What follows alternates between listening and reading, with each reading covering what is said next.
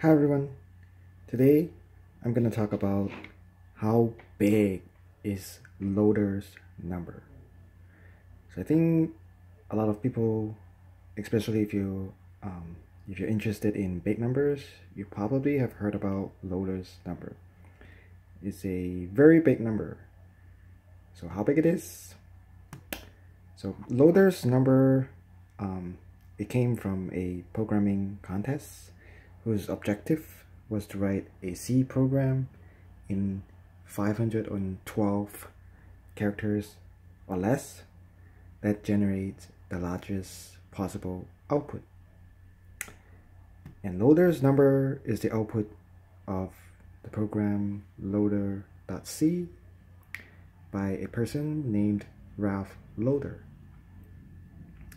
And loader's number, of course, is the winning um, number in this contest and it is one of the largest computable numbers ever devised.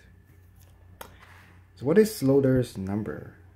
So loader's number could be defined as D, 5, and 99. So what does that mean?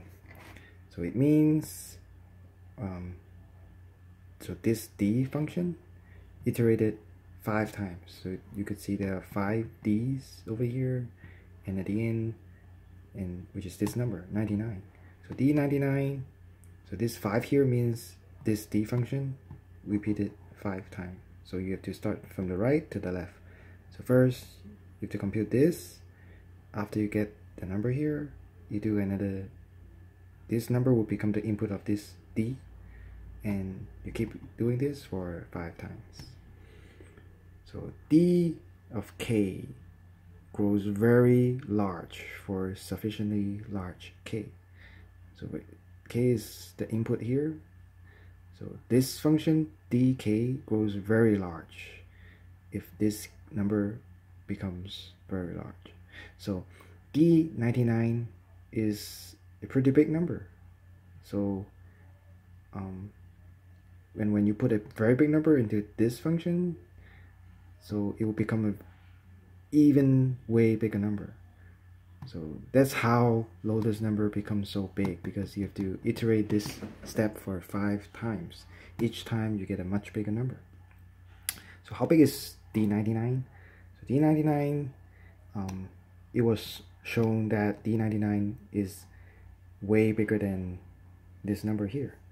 Two double arrow 30,419 so I think most of you already know what does this mean. So this number means a power tower of 2.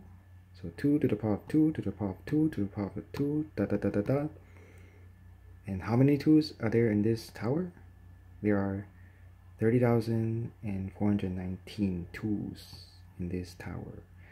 This is a very big number, much bigger than Googolplex or even Googolplexplex and this is just the output for D99 so the next step is D299 which is D of D99 and again I mean it was shown that this output is way bigger than this number over here.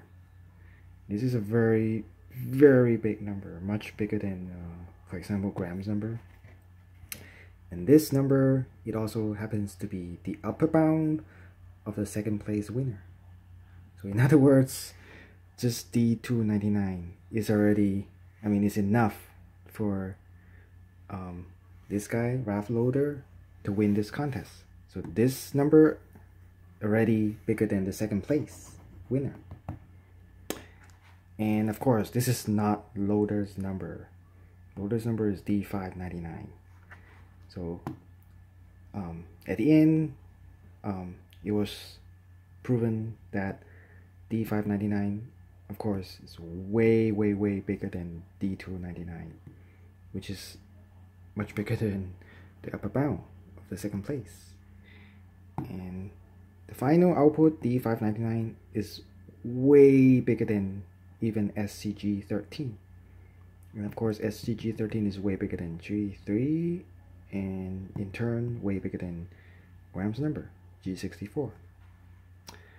So Loader's number is extremely big. However, it is computable because um, although it's very big, it is still um, it is the output of a computer program which consists of 512 character or less. So number is computable and therefore it has to be much less than Rayo's number. Rayo's number is not computable. So there we have it, loader's number. Thanks for watching and have a nice day.